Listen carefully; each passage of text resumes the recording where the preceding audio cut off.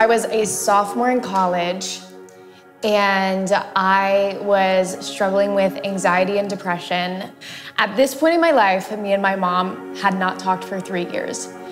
And I remember she called me one day, and the fact that I answered the call was a miracle in and of itself, but I answered, and she told me that she wanted to take me on a surprise trip. So I said yes, and we pulled up to a church. And I just remember being so angry that she had pulled up to a church and she was like, I really feel like the Lord wants me to take you here tonight.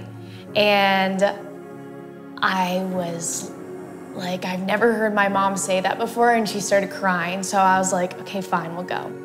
Well, it ended up being a Christian concert. And that night changed my entire world. I went from being depressed and anxious to giving my whole entire life to Jesus. And one day while I was listening to K-Love, I remember the DJ started talking about the 30 day challenge and they said, listen to K-Love for 30 days straight and see how it changes your day or even your life. And I was like, you know what? I'm gonna listen to K-Love for 30 days straight.